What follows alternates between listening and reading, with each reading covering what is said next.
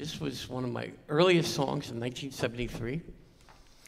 And it was written on a day very much like today, on a Sunday, with beautiful sun, warm, in Central Park, walking around with my wife. I came home, sat down at the piano, played it.